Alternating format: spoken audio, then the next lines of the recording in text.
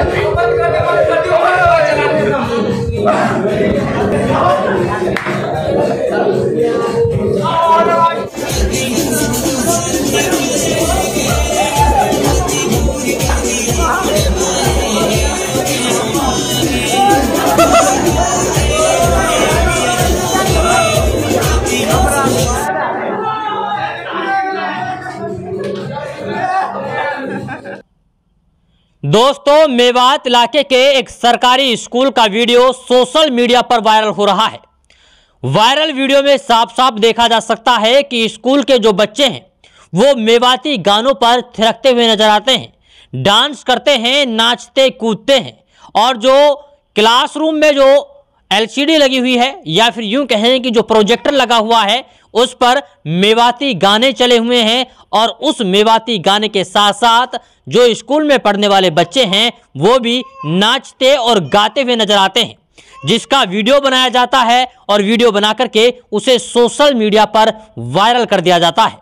दरअसल, ये viral video सिंगार गाँव का बताया जा रहा है।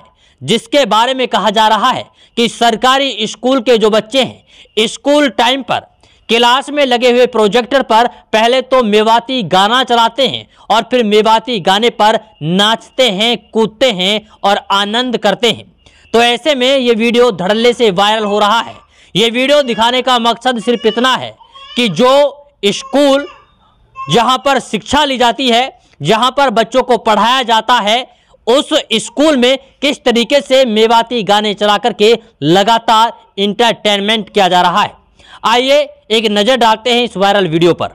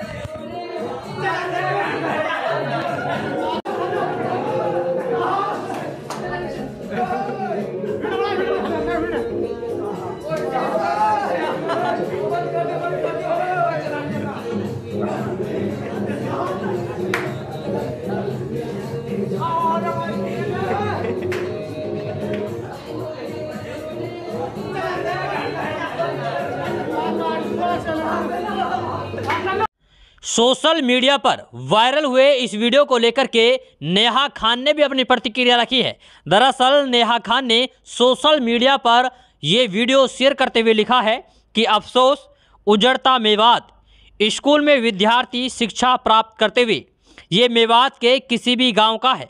एक्शन लेना चाहिए गाँव वालों को। इसमें सरकार, मास्टर, किसी का भी कोई दोष नहीं है।